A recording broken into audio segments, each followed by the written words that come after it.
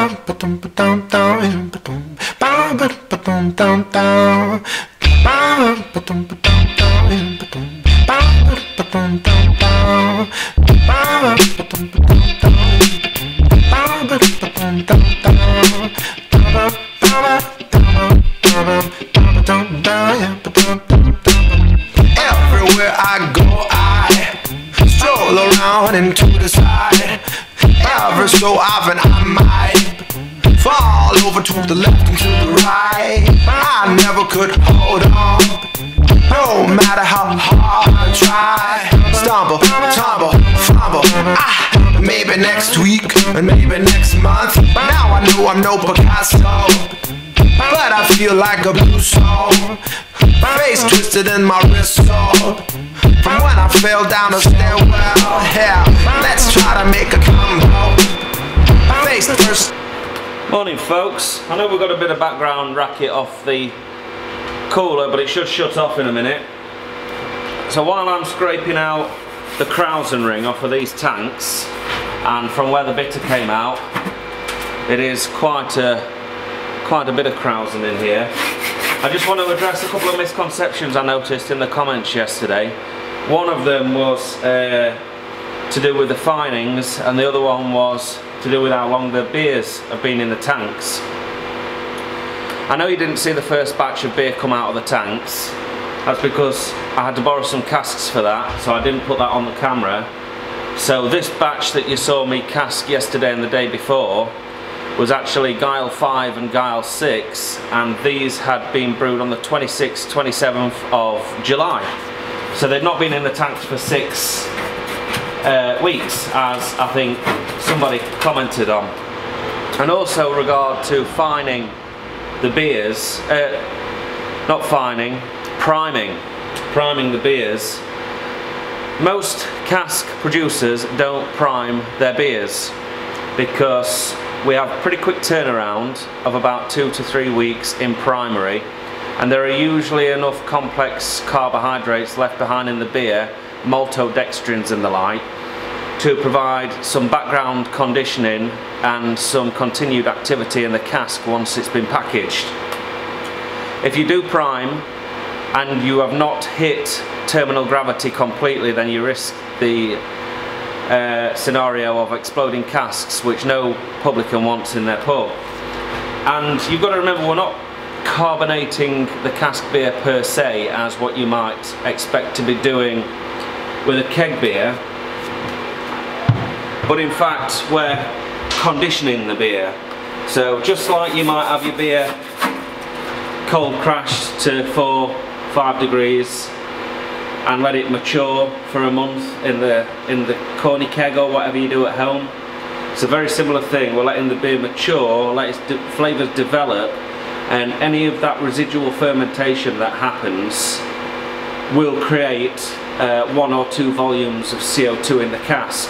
And also the fact that we're packaging sort of below 8 degrees C, the beer already contains quite a lot of dissolved carbon dioxide and that's enough to create the conditioning in your glass when you serve it on the bar, these two effects combined. So no I don't prime, I've seen it done by American brewers before but I'm yet to see a professional uh, cask ale producer prime cask. I've not seen it happen before. So that's just a little bit of a roundup. Again with the finings, there are lots of other types of finings out there. Uh, the finings adjunct I use in the tank to give me clarification. Then there's uh, isinglass which I use in the cask. The finings adjunct is vegan friendly, the isinglass isn't. And then there's one called Brau-Sol which is a substitute for um, auxiliary finings and isinglass I believe. But these this Brau-Sol doesn't stand up so well uh, to being disturbed once it's settled out whereas isinglass you can roll the cask 7, 8, 10 times and it'll still have that effect of condensing the sediment bed at the bottom of the cask. I mean not so much of a problem these days in the days of hazy beers but we have quite a lot of drinkers who are, uh, they drink with their eyes and particularly for things like the best bitter, it's extremely important to have a polished beer. You get away with it more on the hoppy IPAs. I don't mind drinking hazy beers. I think uh, you can sometimes strip a bit of the character out, but that's no excuse for really murky, muddy beers. I'm not a big fan of those. Uh, you know, the race to make the most opaque, murkiest milkshake kind of beer, not for me. Uh, I think it takes away from the quality ingredients that you're putting in. So, Brewter style, traditional uh, English bitters, want to be polished, American New England IPAs, yeah, get away with a bit of haziness. Crash, bash, lash, ah, maybe next time after the next wine.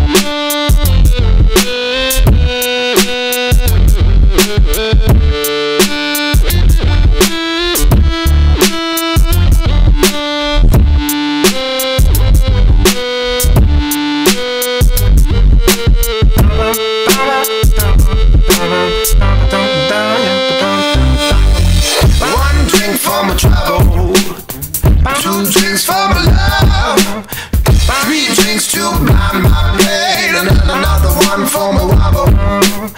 Now I'm wallowing in morbidly fog, I can say that I'm just gone.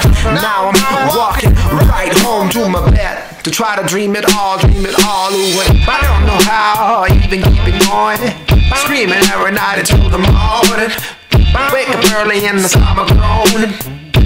My freezing as it starts snowing. The Midwest ain't the best for a night's rest. When you're falling on your face and you break your chest. Wow, child, trying to survive. But the winter, no, the winter ain't mild. You might say that you're pushing yourself down. And you're the only man standing in your way. And then you probably say you're drinking yourself drown. But don't you know it's your body that will pay? And I could say that you're crazy and a liar too. But in the back of my mind, I know the truth. I've had it, fanatic. I'm basically an addict, pulling apart my heart. It's problematic.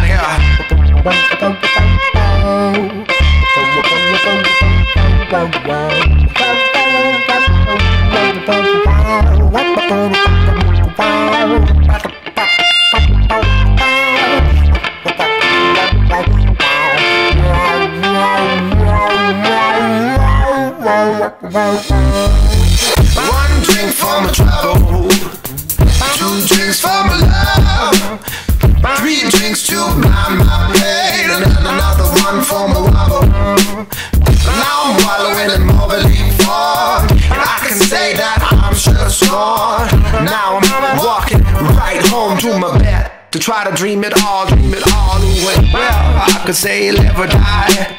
I can only say that I'll try.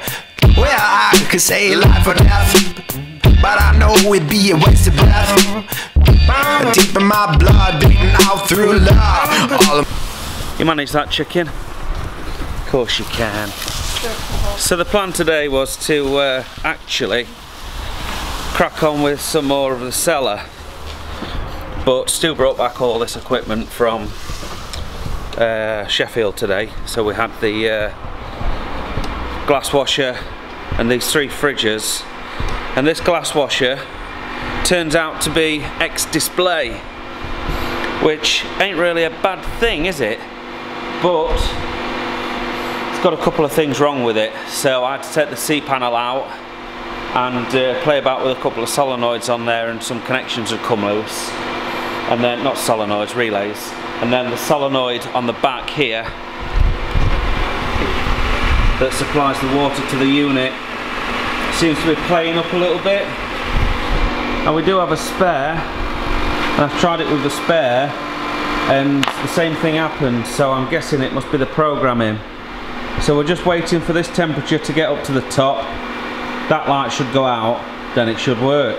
There's no guarantee it will though. Gangsters were just scooping money off the streets like candy.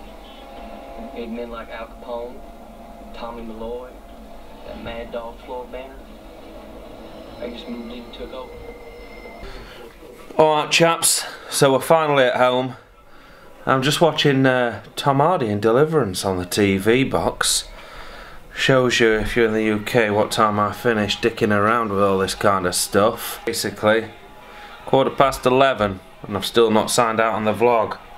So I've put together an order from um, a steel company uh, but I'm going to ring another one up, ACS, ASC Metals, see if I can get a better price on them tomorrow for a load of angle iron steel and all that kind of stuff to help build the bar. I found a company online that does bar taps. They're not the Perlicks or the Intertaps, but uh, they're a bit more, they're called the Elegance taps. So they're in between. I can pick these up for, they include shank and everything you need. Quick disconnect on the back I think about 45 quid a pop. But paying a lot more for the Perlicks or the Intertaps once you've put the shank and the uh, barb connector and everything on the back. So we'll see, we'll see. I've not ordered that yet. And then I also spent a little bit of time drawing out a plan, uh, bird's eye view for the bar. So you can kind of get a vision of exactly what it is I want to achieve with the layout. So everything's on there. If you want to pause the video and have a look we're going to have an 18 line python so I've got room for 18 keg taps of course but we'll just get rid of 1, 2 and 17 and 18 and we'll run 14 for now. I don't need all of those. The same with the cask I'm not going to put 10 on I'm going to put 8 on but we've got a 10 line python so we'll just get rid of 5 and 6 open that gap in the middle but it's getting late folks, I've got a very busy day tomorrow. I've got the kids as well, which is always difficult to manoeuvre. Uh, so I want to get this vlog edited and uploaded so you can enjoy. I don't even know what I've got for the vlog to be honest, you've already seen it. Was it any good? Leave me a comment. I don't know yet. Anyway, we'll do another one tomorrow. I'll see you then. My problems pass into a flood. One more bartender, one more please. I got a whole lot of pain to drink out of me.